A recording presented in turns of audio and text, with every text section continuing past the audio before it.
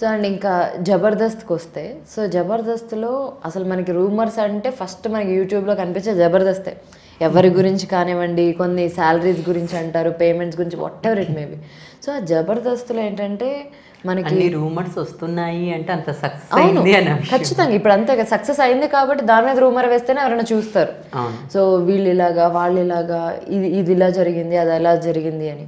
So అక్కడ payments కూడా వర్తి పేమెంట్సా to take? ఇప్పుడు ఒక విషయం చెప్పాలంటే అండి మీ పేమెంట్ గురించి నేను మిమ్మల్ని అడగను. నా పేమెంట్ గురించి మీరు నన్ను అడగరు. సో ఎవరి పర్సనల్ పేమెంట్స్ వాళ్ళవి వాళ్ళు సాటిస్ఫైర్ అయ్యారా లేదా అన్నది వాళ్ళ మనసుకు తెలుసు. ఓకే. అంతే ఒకరికి సాటిస్ఫై అనిపించింది ఇంకొకరికి అనిపించకపోవచ్చు. It's up to them. అవును. మనకు సంబంధం లేదు అది. అంటే టీం మొత్తానికి కల్పిస్తారా లేకపోతే ఇండివిజువల్ పర్సన్ లేదు టీమ్ లీడర్స్కి ఇచ్చిన వాటిని షేర్ చేస్తారు. ఓకే. సో ఆ రోజు ఆ స్కిట్లో పర్ఫామ్ చేసిన. దాన్ని బట్టి. Mm. ఓకే ఇప్పుడు జబర్దస్త్లోకి వెళ్ళడం కష్టం. జబర్దస్త్ అనే కాదు ఇప్పుడు ఏవైతే కొన్ని పాపులర్ షోస్ ఉన్నాయో కొత్త కొత్త వాళ్ళని అంత తొందరగా బయటికి రానివ్వరు. అక్కడికి రానివ్వరు అనేది చాలా రెగ్యులర్గా విన్న పదం అది. అనుకున్నంత ఈజీ కాదు. ఇప్పుడు బయట చాలా చోట్ల ఆడిషన్స్ పెడతారు వెళ్తారు కొత్త వాళ్ళని తీసుకుంటున్నాం అంటారు. కానీ మ్యాక్సిమం కొత్త వాళ్ళు కనిపించరు. సో దానికి ఏమైనా ఒక రీజన్ ఉంటుందా? ఇండస్ట్రీ అనేది ఏదైనా సరే కష్టంతో పాటు లక్ కూడా ఉండాలి. ఉండాలి. సో ఆ విధంగా మనం చూసుకుంటే ఇప్పుడు జబర్దస్త్ సెట్ బయట చాలామంది ఉండడం జరుగుతూ ఉంటుంది. వాళ్ళలో ఏ ఒక్కరికో అవకాశం వస్తుంది. అది వాడుకున్న లక్ ఇప్పుడు వంద మంది ఉంటే వంద మందిని స్కిట్లలో పెట్టలేము వంద మందికి అవకాశాలు ఇవ్వలేము కదా. సో ఇచ్చిన వాడు టాలెంట్ ప్రూవ్ చేసుకుంటూ ముందుకు వెళ్తాడు లేదంటే అక్కడ ఆగిపోతాడు.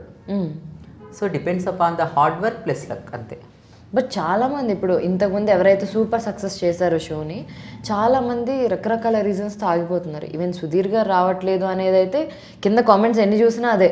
సుధీర్ గారు please come back please come back అని.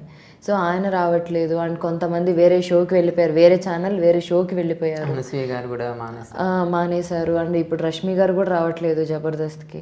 అంటే ఈ కొత్త అమ్మాయి సౌమ్య తను ఇంట్రడ్యూస్ అయింది. సో ఇంతమంది ఒకటేసారి బ్యాక్ టు బ్యాక్ రాకపోవడానికి ఏమైనా అంటే ఎక్స్ట్రా జబర్దస్త్ జబర్దస్త్ రెండింటికి ఒకటే యాంకర్ అని చెప్పేసి ఆ అమ్మాయిని ఇంట్రడ్యూస్ చేయడం జరిగింది కానివ్వండి. రష్మి గారు మానేయడం అంటే ఏం లేదనమాట సో మిగతా ఆర్టిస్టుల విషయానికి వస్తే ఒక్కొక్కరికి ఒక పర్సనల్ ప్రాబ్లం ఉంది. సో కొద్దిమందికి ట్రీట్మెంట్ ప్రాబ్లం కానివ్వండి కొద్దిమందికి పేమెంట్ ఇష్యూస్ కానివ్వండి కొద్దిమందికి పక్క ఛానల్లో ఎక్కువ అవకాశాలు ఉన్నాయి. చేంజ్ ఓవర్ చూద్దాం అని కానివ్వండి. ఒక్కొక్కరి మైండ్ సెట్తో ఒక్కొక్కరి థాట్స్తో చేంజ్ అవ్వడం జరిగింది.